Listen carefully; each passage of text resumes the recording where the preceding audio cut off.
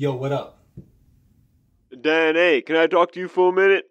Me and the other VJA Smash members was wondering, could you do a little some something beautiful, something that the kids gonna love when they play it. That's gonna make them all start money matching left and right and sharing best fives and stuff.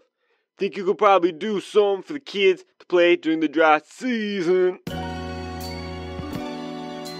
Oh, yeah. I've got the perfect game mode for the kids to play. For all my people playing net play mm. just to get by with Smash Drive, you can't satisfy.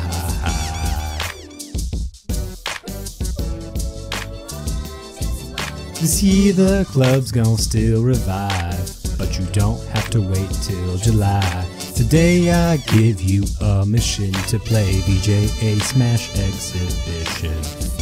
If this is your first time hearing this, you are about to experience something so cool, man. We never had nothing to play during the dry season, during the school season. There were no events, man. But as a club, we came back during the summer, man. But only the summer, man. Maybe the winter too, man. Playing tourneys, man. Man, do you remember, man? So challenge somebody today.